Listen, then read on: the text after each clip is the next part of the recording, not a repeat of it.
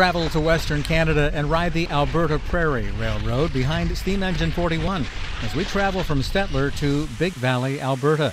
There are lots of ways to be entertained on the train ride, and you might even encounter some Western style bandits with six guns. In addition to riding behind Engine 41, we'll ride the cab and see the largest operating steam engine in Canada, which is Canadian National 482, number 6060. This short segment consists of pacing footage from the highway and close up servicing shots at Coronation.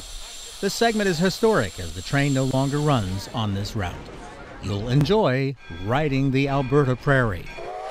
As an added bonus, we've included an additional 25 minutes of Rocky Mountain wildlife that was viewed in the area around Jasper on the same trip.